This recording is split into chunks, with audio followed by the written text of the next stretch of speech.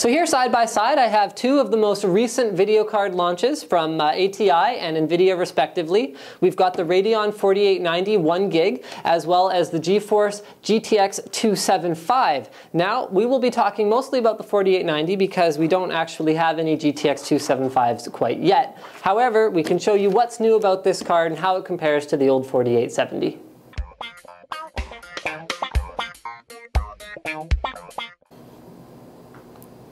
So here it is up close and personal, the 4890. As you can see at the back, like most graphics cards these days, uh, you've got two dual-link DVI connectors. Now you can adapt one of these for HDMI out, including sound output. And that's one new thing about the 4890. It'll do up to 7.1 sound out by the HDMI port.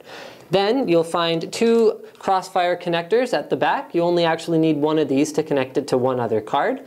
And then at the very back of the card, you'll see two 6-pin PCI Express power connectors. So they haven't changed the requirements from your power supply as far as connectors go from the 4870. Now it's a very similar looking card, but what they've done to change it most dramatically is actually under the hood. They haven't changed the manufacturing process, but they did tweak the chip for higher clock speeds. It's up 850 megahertz from 650 megahertz on the 4870 on the core itself, and the RAM is clocked a little bit higher too.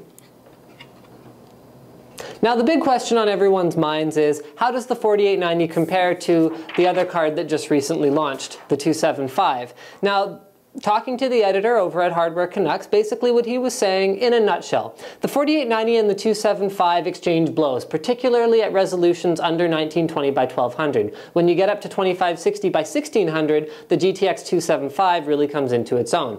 Something else to bear in mind is that the 4890 is slightly less expensive, and it does use less power while you're gaming. But the GTX 275 actually uses less power while you're just at the desktop, which the reality of it is you'll spend most of your time doing. Either way, it's great to see a competitive offering from both camps, and thank you for watching NCIX Tech Tips.